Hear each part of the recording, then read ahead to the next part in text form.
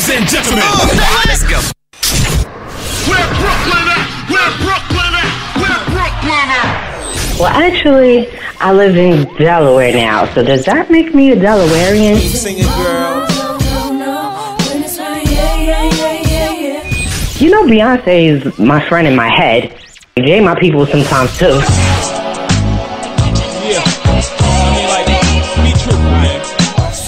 I was a kid, I had an imaginary enemy. Like, does that make me crazy? Life as P, presented by SayWHA Radio. Hello, hello, hello. This is your girl, Phoenix Ash, and this is Life as P. Thank you so much for joining me. If this is your first time, I appreciate you giving us a shot, giving us your ear, listening in for a second. I appreciate whoever recommended us or however you found us. If you were scrolling through your different streaming devices or streaming platforms, I guess, I would like to say thank you for thinking we look interesting enough to check us in. I say we because this is a group effort here. I could not exist without people who listen consistently. Thank you so much to everyone who listens all the time. I appreciate you. Let's get into it. So I actually had a pre-recorded podcast that I did last night and I was to load it and everything because I was like, this is life is P. You're to have to know how it is. But guys, I was so tired and so delirious. As I was talking, I could feel myself like blacking out a little bit and then coming back to and was like, not sure if I spiraled into a different point, to the same point. it was a whole mess. And I was like, mm, I'm to have to get up tomorrow and I'm to have to do that different. because I know his life is P. I could just tell y'all about it. Y'all don't have to hear my mess. You ever like be so tired you talking or you talking to someone and they're like, wait, what? What'd you say? You mumbled something that came from left field or different topic or whatever. I don't know if that's ever happened to you, but for me, that means, okay, I can't do this no more. Let me just close my eyes and go to sleep and stop. Just stop fronting. And the whole thought about it is I was thinking about doing too much versus doing too little. Often I beat myself up and I'm working on it. You know, a lot of people tell me, you know, you're really hard on yourself. You have really high standards for yourself. And I don't think that's necessarily a horrible thing, but I could probably go a little easier on myself and not rip myself to shreds over things that I feel like I should be doing that I'm not doing or I'm not doing enough of. I am constantly feeling like, okay, I haven't written today. I haven't done what I was supposed to do. Or when I'm at my daytime job, I'm like, okay, I didn't get these reports right. I got to get them right. So I will spend hours on something doing it over and over and over and over again. Like I got to get it right. Now, part of that is good because I'm partially like that because I feel like if I get it right right now, that I save myself dozens of times in the future of fiddling with it. So that part I think is good. Practice is making it perfect. Like I'm learning how to do a particular process and I'm doing it over and over again. But at the same time, like I don't give myself a break, not as much as I should. And as tired as I was last night, I was thinking, you know, I haven't really written this week. I probably wrote all of like 500 words this week, to be honest with you, which is not a lot for someone who has a manuscript that's due. it's, it's not a lot. When you have to write, you know, a 50,000 word book and you're stuck at 15,000 and you've written 500 words and it's taking you a whole week to do 500 words, it's not a lot. So I've been like beating myself up saying, you know, you haven't written, you haven't done your daily goals, you haven't done your weekly goals. What are you doing? Are you not getting it together? Are you slipping? Are you giving up? Are you going to now take a whole year to write this book? And not that it's bad that some people take a whole year, but my contract and my due date for this manuscript is not a year away. so, and I've been working on it for a couple months. I got to get it together for real, for real. I constantly feel like I'm doing too little and I was just really evaluating it this morning. And I'm like, no, I'm doing too much. I have a number of things that are going on. I'm trying to organize my daughter's birthday party. I feel so guilty because her birthday is coming up very quickly and I have not planned a birthday party. So much so that like the places that I've reached out to are full They're jam packed. There's one place that has like a Saturday night open, but it's at eight o'clock. My daughter's to turn four. I'm not giving her no party at no eight o'clock at night. Like it's not happening. If she has a party at eight o'clock at night, you might as well be at home so she go to sleep afterwards. So, I mean, I have options. And that's the thing. Like, I was literally about to cry over the fact that there was no place that could host this party. I mean, granted, I could host it at my house. I don't want to because it means I have to have my house cleaned up like professionally, not by me. I'm not professional at cleaning up at all. Like that is not a strength of mine. I will tell you quickly. So for all you people out there who like to go to other people's house and be like, Oh my God, she only got one kid. Why is her house like incredibly junky or whatever? Yo, this is just not my strong suit. I'm sorry. I'm sorry. But I am blessed enough to have some resources where I can pay somebody to come and clean my house. But that's what would have to happen. I'm not blessed enough to have it done on a regular basis. Well, let me not say I'm not blessed enough. I'm not at a place where I can have it done on a regular basis or that I'm willing to afford it on a regular basis, but I would do it for a party. Not gonna do it though. I would rather have her party somewhere else. She's been watching these things on YouTube with like obstacle courses and games and stuff. And she's like, mom, I wish I could go there. I was like, poor child, we don't take her nowhere. So I'm trying to arrange for her to go to one of these kinds of places in our area for her party. I think that she would definitely enjoy it.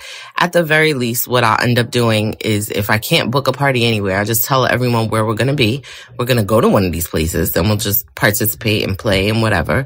And then like treat everyone to pizza afterwards. So there's a backup plan. And that's what I need to be okay with. That I have a plan, some kind of plan. There's another plan, a plan where she's going to enjoy herself and she's going to execute or I'm going to execute. And I need to be okay with that, that it's not going to be catastrophic. My daughter so doesn't care. Like she doesn't know like my birthday is on this day of the calendar. It's going to be on Saturday or whatever. And she doesn't expect that we're going to have this whole celebration on that particular day. Our birthday falls on a Friday. So I'm probably going to send cupcakes to her school anyway. But she's really chill when it comes to stuff like that. So me beating myself up is strictly about my expectations and what I want. And I'm starting to like learn to tune in to what it is that she would really enjoy and provide that. And that I can provide. So I'm trying to ease up on myself for that. But also with the writing, I have some time today. I'm going to dedicate some hours and I'm going to knock out a few thousand words. But my excuse all week was, yo, sleep has been feeling too good. Like it's, when I tell you sleep has been feeling amazing this week. It felt amazing when I was in Memphis, but it was like amazing this week. And I was just like, probably because I need it. I've been putting in a lot of hours at the day job and I hate that because it means it's taking my focus and concentration off the thing that truly matters to me. However, I do understand that the day job is my investor. And so I need to please my investor to some degree so that I can continue to invest in these things that I love and the lifestyle that I love so that I can be able to do more of things I love. I know it sounds like I'm probably still tired and spiraling in my point, but honestly, I hate that. And it's temporary, right? I'm in a peak season. I'm in a season where there's a lot of work. It's picking up. It's going to slow down after about another three or four weeks.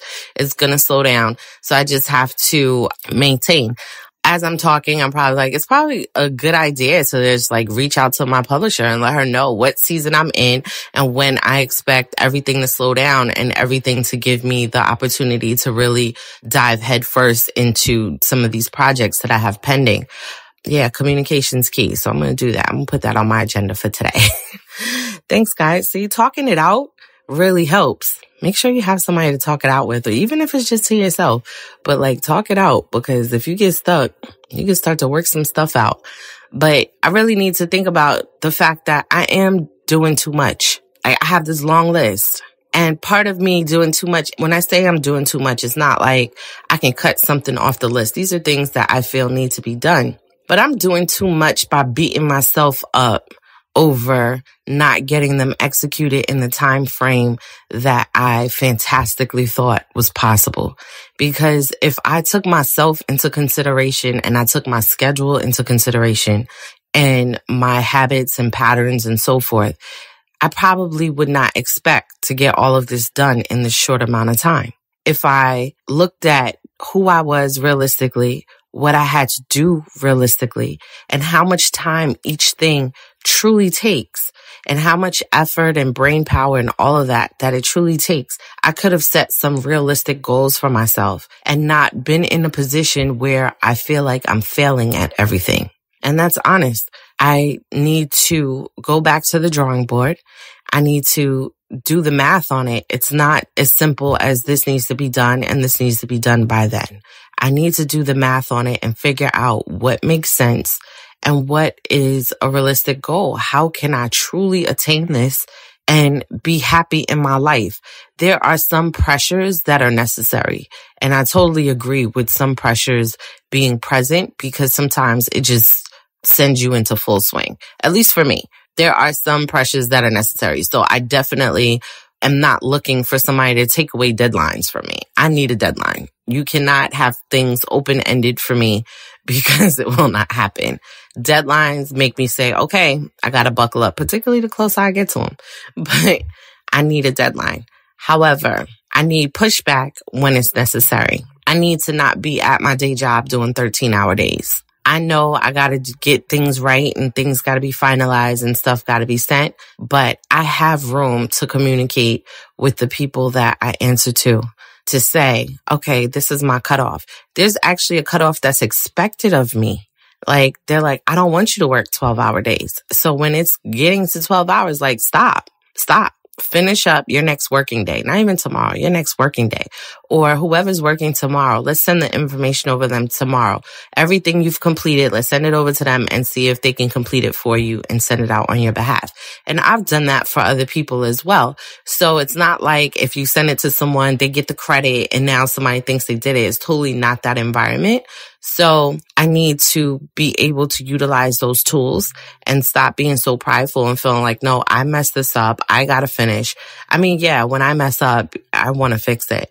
However, there are resources and people who are willing to help fix it. And I need to take advantage of that. I had a situation where I was staying late to help someone else complete their reports. And they were struggling with the reports. And every time they would struggle, I would step in, I would help and I would run some reports for them and I would send it to them and be like, okay, good. You should be good to go. You could send this out. And I was really just trying to make sure they were okay. We were at the site late some nights and I just wanted to make sure they weren't by themselves and I would walk them out or whatever. Well, the other day I was at the site late trying to figure out some of my reports and this person had their coat on, backpack, stuff in hand, coffee cup, whatever, was walking out halfway out the door. They tossed over their shoulder, you good? And I kind of was like, I felt obligated to say yeah, because they were halfway out the door. You know, she's been sick, she's been coughing and everything. So I'm like just trying to be all right. Forgetting the fact that we're not supposed to be on site. So I work at a place that's not at a particular facility. It's off site and we're not supposed to be there by ourselves. Apparently she forgot too. So because she was leaving me by myself and I was there very late at night. I didn't leave till after 10 o'clock. When she left, it was about 630. And when she left, I was struggling with reports. And when she said, am I good? She didn't ask, you know, you've been here a while. Do you think you'll leave soon? What's happening? I did this last week. So is there something that I can, let me take a look at what I have and maybe I could share with you. But I let it be and just was like, you know, she just don't think like me. That's okay. What upset me was the next day I reached out to another coworker who had more experience in doing the things that I was doing. And I was saying, you know, gosh, I'm stumped. I don't know where to find particular information. It doesn't seem to be pulling properly. You know, can you help me? And this girl, she's so wonderful. Her name's Melissa. She was all ready to help me and was pouring into me and sending me all these tools and telling me where to go and how to get here and how to get there or whatever. But what struck me is that she said, Hey, I told this girl this yesterday the girl who left me by myself to do it, she had told her yesterday all the information that she had given to me and all the reports she had given to me. But the person who left me never, one, said that they reached out to her to gain this information. Two, never said, Hey, this person gave me additional tools that I noticed you didn't give me before or wasn't available before. Do you have these tools? These tools look like it would make things so much easier. Do you have them? Hey, I'm leaving, but it seems that like you're still here. And I think if you had these tools, you would do this quicker. So may, do you have this tool? Cause this is what this person told me. No mention of it.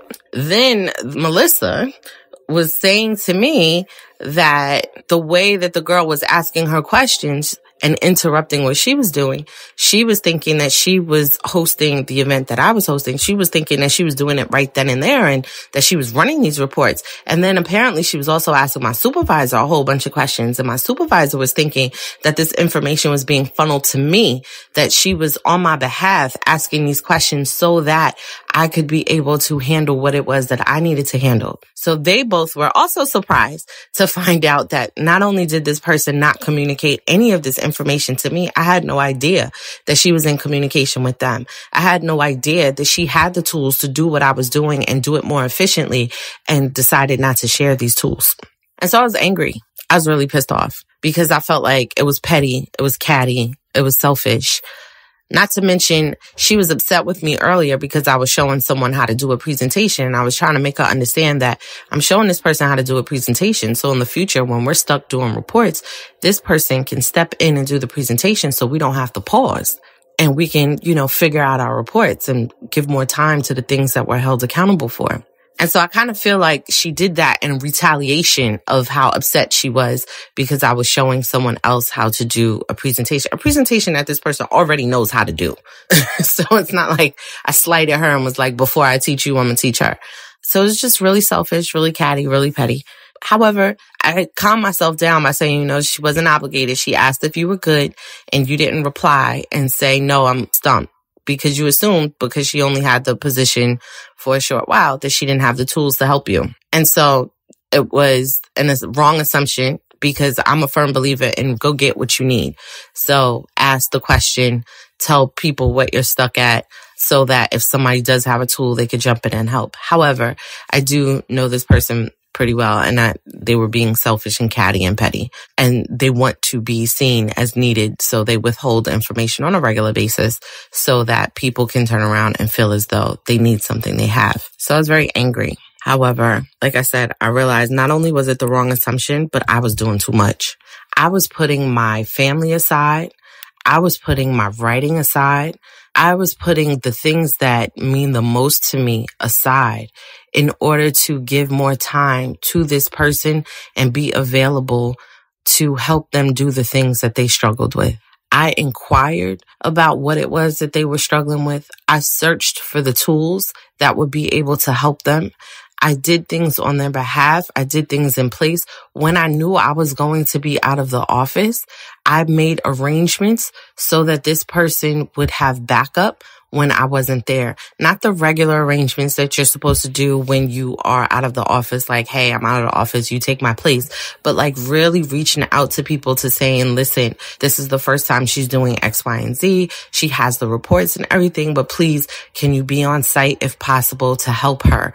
Can you assist her? Can you be on the lookout? Be alert, be available for her to reach out to you and gain your assistance so that she is okay. This is what I was doing for this person who gave two shits, excuse my language, because you know I don't curse a lot, but she really did not care about what my plight, my struggle, my time, my family. She don't care about anything personal regarding to me. And honestly, she don't have to. It's not her obligation. It's mine. It's my obligation. So although I was angry, I was only angry for a short period of time because when I came to the realization that I was doing too much, I was doing too much and I was expecting to be rewarded with someone caring about my plight as I cared about theirs. And it's not to say that I'm supposed to make myself in a position where I no longer care about theirs, but I have to remind myself of my personal obligations that mean more to me. And I can't continue to put those things on the side for somebody who does not care about them as well. So I was doing too much. Those were hours that I could have poured into my writing. Those were hours that I could have spent time with my daughter, that I could have been home before she went to bed. Those were hours that I didn't have to eat fast food for dinner. I could have made a meal because I would have had the energy to cook or I would have been home early enough to cook and it makes sense. Those were hours that I wouldn't have to be so exhausted, that I wouldn't have to beat myself up. Those are hours I could have been calling around places for my daughter's birthday party. Amen. So it's not, she don't owe me hours. She don't owe me information. One, I need to go search the information I need and recognize when I've been spending too long trying to figure something out on my own and know that I have to turn around and ask a question. But two, I need to have my own cutoffs. I need to set my boundaries and to be clear. And I need to give the extra to those that really appreciate the extra or that need the extra from me and not just offer it up to everybody. And that's for me to know because I do sometimes offer up my extra to just everybody.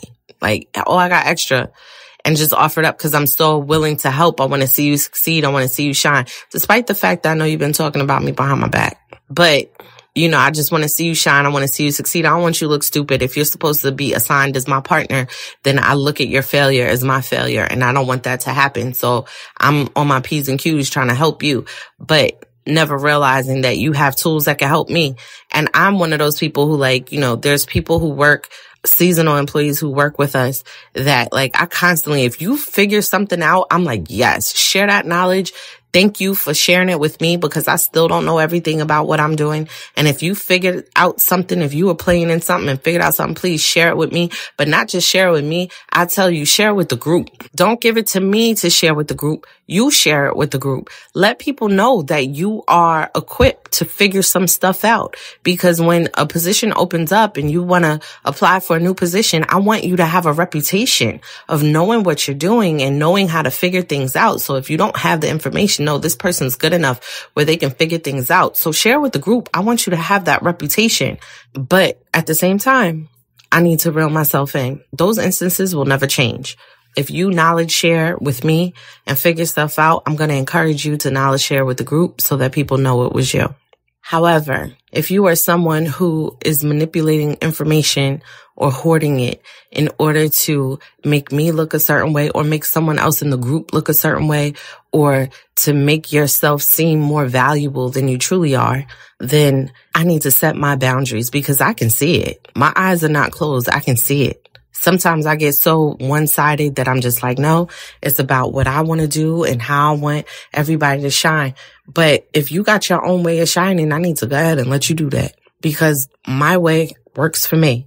It works for my reputation. It works for my camaraderie with my coworkers for the most part. People who work with me love for the most part to work with me. They love the fact that they get recognition, that it's an open atmosphere and they're willing to help me in ways that I cannot even begin to say because like I said, I don't know everything and I'm still trying to figure stuff out. And I love the fact that I have a lot of people who work with me who are in positions where the expectation is that they know less, but they've been able to figure some stuff out and they freely come and share these things with me because they want me to have these tools. Just like I want them to have tools, they want me to have those tools.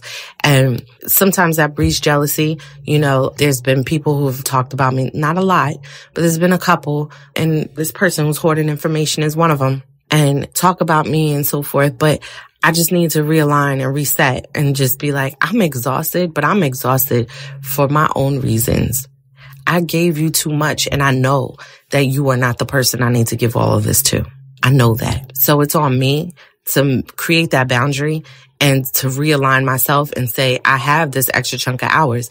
You know, when I go through and do the math and say, where's the extra time? Where can I put in more time? Because I'm going crazy, not executing my goals and I don't know why. Where is the extra time? I just don't have it.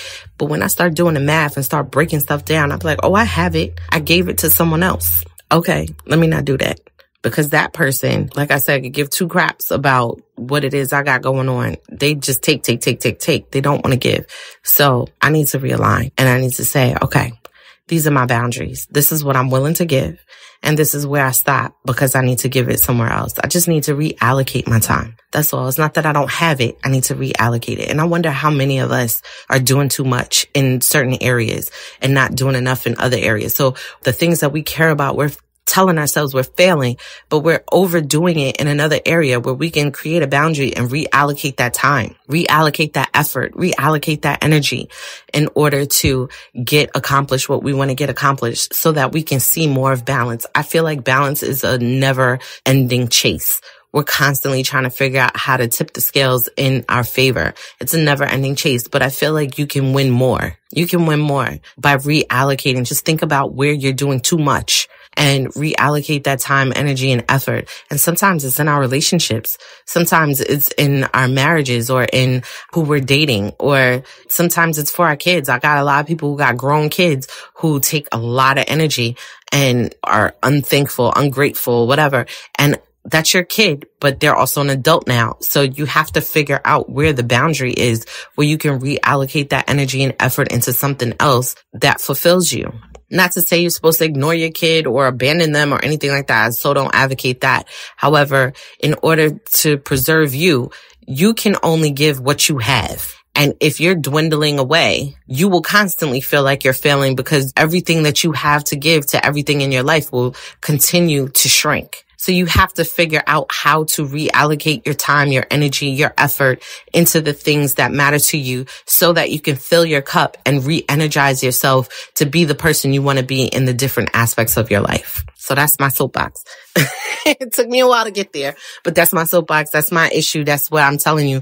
Whereas doing too much versus doing too little you're not doing too little. You're trying to beat yourself up because you don't have enough time. You're not putting in the proper energy or effort. It's because you've allocated it somewhere else. So go find where you've allocated it, where you're doing too much, scale that back and realign. Do that.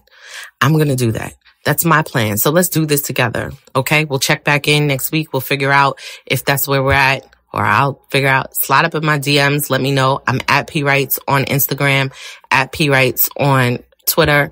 I'm Phoenix Ash on Facebook. Get up in my messenger. Let me know if this is what's working for you. If you have tools that can work for me, please let me know. let me take advantage of that. I appreciate everything that you guys pour into me. I love the messages. I love when people tell me that I'm impacting their lives. I love when they have things that will impact mine. I love it. I totally love it. If you want to check out any of my work, any of my completed work, my book, Cookies and Crumbles, is available on Amazon as well as Kindle.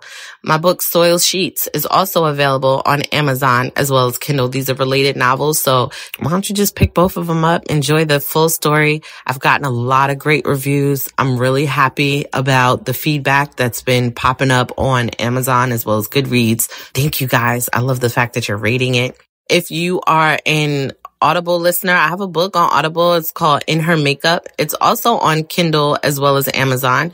It's also on Apple Books. So check that out. Let me know what you think. Leave a review for that. Let me know what you think of my narrator, the story. The story is quite emotional, I believe, but I think it's a great book. It's a standalone novel. It's my first novel, so I'm very proud of it. You know, a lot of times we do work, we're not proud of it like a year or two later, but I'm still proud of it. So check that out do me that solid. If you don't have Audible, but you've been interested in trying, I believe they have a free trial and the first book you download is free. So if you make in her makeup, the first book you download will be free. That's what's up, y'all. Anyway, that's my spiel for today. I thank you so much for